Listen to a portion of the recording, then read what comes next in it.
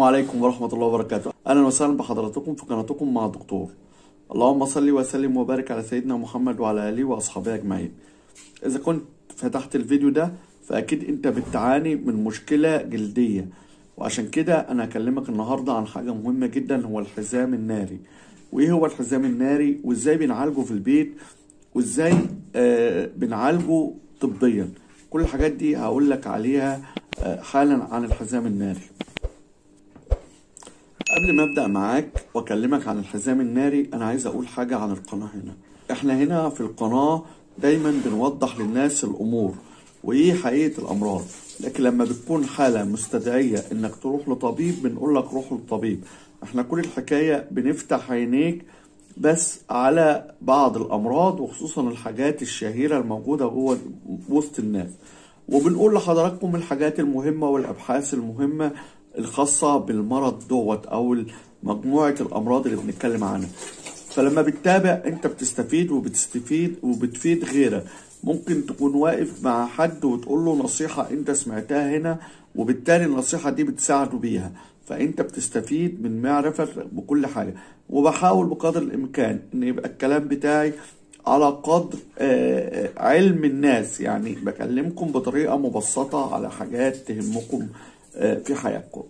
هنبدأ الفيديو ونتكلم النهاردة عن الحزام الناري. الحزام الناري بيعتبر أشهر الأمراض الجلدية اللي بتصيب الإنسان وعشان تعرف كل حاجة عنه تابعنا للآخر. كثير من الأمراض الجلدية اللي بتصيب الإنسان ومنها الحزام الناري ومنها الحزام الناري وهو أشهر أشهرها ليه بقى بيشعر المصيب المصاب بيه بآلام شديد جدا وحارقة يعني حاجة كأنها بتحرقه وعشان كده هقول لحضراتكم كل حاجة عنه. يعرف الحزام الناري بأنه التهاب فيروسي حاد. بأنه التهاب فيروسي حاد. وأنا قلت لكم أن الفيروسات دايما بتعتمد على جهاز المناعة بتاعك. بيظهر في الجلد على شكل حويصات حويصلات في مسار عصب حسي. يعني بتوجد على بتوجد الحويصلات ديت على عصب فيه إحساس. وعشان كده بيبقى فيه ألم شديد جدا فيه. طيب الأعراض بقى المرتبطة بيه عشان تعرف لو عندك الحزام الناري. ألم شديد وحك في الجلد. طفح جلدي في مناطق مختلفة من الجسم. ظهور بقع حمراء بتتحول إلى بثور مليانة بالسوائل مع الوقت. ألم في المفاصل وإعياء شديد. يعني اللي عنده الحزام الناري بيبقى دايما مش قادر يقوم وعنده حالات من الإعياء الشديد. طيب في طرق مختلفة بنعالج بيها الحزام الناري. أول حاجة هنتكلم عن الأدوية. الأدوية اللي, بي... اللي بيصفها الطبيب بتبقى عبارة عن حاجات بت... بتزيد من فرص الشفاء وبتقلل من خطر الإصابة بالمضاعفات وبتقلل من خطر إن الحزام الناري ينتشر تاني. طب طبعا قلنا انه التهاب فيروسي فأول حاجة هناخدها مضادات الفيروسات.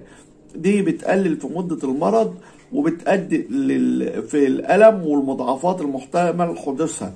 بندي المضاد الفيروسي وبيعتبر تو... عشان كده بنقضي على الفيروس وبيعتبر تناولها حماية المريض إذا كان بينا...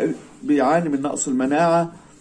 آه طبعا بنديه آه للمريض عشان خاطر يقضي على الفيروس. بعض مضادات الفيروسات هو في مضادات فيروسات بس هو بيعتمد الفيروسات علاجها على مناعتك انت نفسها.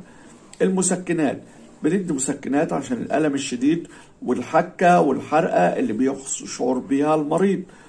آه المطهرات بقى الموضوعية عارفين طبعا المطهرات من البتادين المهم جدا والبتادين آه بيقضي على بعض الفيروسات وبيعمل نظافة للمنطقة اللي حواليه وعشان كده البتادين مهم جدا في علاجه. بيستمر الحزام الناري ما بين أسبوعين لست أسابيع بيفضل المريض طول الفترة ديت حاسس بالألم الشديد وحاسس بالتعب وعشان كده وممكن المريض بيصاب بيه مرة واحدة بس في حياته وبعد كده ما يرجعش تاني. ودي ميزة من مميزات الفيروسية إن الواحد لما بينجو من الالتهاب الفيروسي مرة ممكن بعد كده ما يصابش بيه تاني. طب إحنا عايزين نعالجه بالمنزل. هنتكلم عن حاجات منزلية تعالج بيها الحزام الناري في المنزل. الكمادات الباردة على الأماكن اللي فيها ألم والأماكن اللي فيها طفح جلدي كل ده بيخفف من الحكة وبيقلل من الالتهاب. آه، في حمام الشوفان. أنا كنت عامل موضوع عن الشوفان يا جماعة. الشوفان من الحاجات المهمة جدا وليه فوائد كتيرة جدا وفوائد جميلة جدا. وخلاصه الشوفان بتعمل ترطيب للبشرة وبتعمل على تخفيف من حساسية الجلد المصاب للالتهاب. هتلاقوا رابط تحت عن فوائد الشوفان ممكن تشوفوها وتقروها على على الموقع الإلكتروني بتاعه. يا ريت اللي عايز يخش يشوفها هيلاقيها. آه، الزيوت الأساسية بعض الزيوت العطرية آه، فيها خصائص بتساعد في التخفيف من تهيج الجلد وبتشتمل الزيوت ديت على زيت البابونج وزيت شجرة الشاي. كل دول ليهم فوائد مهمة جدا. الكرومات المترطبة بتستعمل إنها بتهدي الجلد وبتهدي المريض وبتهدي من الالتهاب والآلام وبتقلل من الحكة وظهور ال- البثور والبقع دي الكريمات المرطبة. في جل الصبار. جل الصبار بيقلل جل الصبار من حرارة المنطقة المصابة آه، لما بيمص الالتهاب وبيخفف من من احمرار الجلد وكذلك من الآلام. طبعا عرفنا على طرق العلاج دلوقتي هنقول إرشادات عشان نخفف م- آه، من العلاج النا- الناري من عشان نخفف من علاج الحزام الحزام الناري وبنحد من انتشار الفيروس اللي ممكن ينتشر في م- نقط كتيرة وممكن يبقى التهاب شديد بعد كده ما يقدرش المريض يلتزم ويعالجه تلتزم الراحة لما تقلل الحركات بتاعتك وحركات. الانحناء والالتواء كل ده. بشكل مفاجئ كل ده بيخلي المنطقة المصابة تزيد وينتشر الفيروس في أماكن- كتيرة جدا. وده آه، مع احمرار شديد وتهيج للجسم. كل دوت مع آه، إنك أنت مش مرتاح وبتتحرك كتير. بتختار الملابس بعناية. يعني تختار لبس مريح وناعم على البشرة عشان كده الأقمشة والألياف آه، الطبيعية بيكون لها خيار أفضل. غير طبعا إن لازم تكون آه، آه، ملابس نظيفة ومطهرة من أثر الفيروس في الأماكن اللي فيها الفيروسات. كل ده بيساعد على العلاج والتهاب الفيروس. ما تقومش بخدش الأماكن اللي فيها التهاب آه، وخدش الجلد بقوة لأنك أنت لما بتخدش وتروح تحط ضوافرك في مكان تاني بيبدأ الفيروس ينتهر ينتشر وبيبدأ وبيظهر بعد البثور وكل ده بتبقى حاجات أسوأ وبتقلل من عملية الشفاء.